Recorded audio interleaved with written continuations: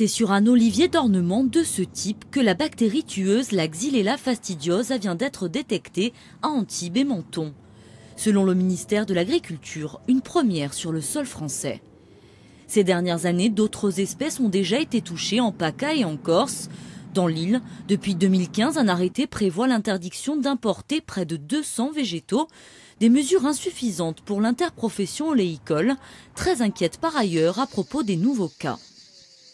Ça fait cinq ans qu'on est lanceur d'alerte, nous, au niveau de l'interprofession oléicole corse. Là, euh, on nous dit que c'est la première fois euh, qu'on a deux oliviers positifs euh, en France.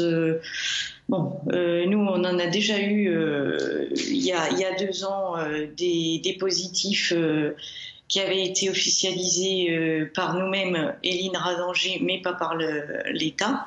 Effectivement, la demande des oléiculteurs des analyses menées par un laboratoire indépendant avait conclu à la présence de souche poca, la plus virulente sur des oliviers corses, des faits infirmés par les laboratoires d'État. De son côté, la collectivité de Corse, qui partage ses inquiétudes, souhaite désormais élargir les restrictions. Nous avons eu, nous, sur cette question, une position constante, qu'il fallait aller au-delà de la simple veille euh, ou de la simple liste qui était préconisée par la préfecture, et c'est-à-dire d'avoir, de prendre des mesures beaucoup plus strictes par rapport aux entrées de plantes sur le territoire corse.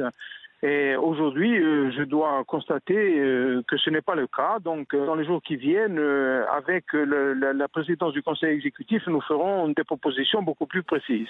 Le manque de mesures contre cette maladie a valu cette semaine à l'Italie d'être épinglée par la justice européenne.